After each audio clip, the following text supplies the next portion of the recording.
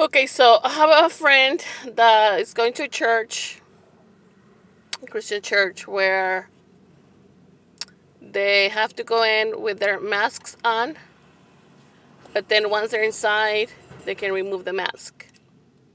Mm, where's the logic on that? I just don't get it. Sorry.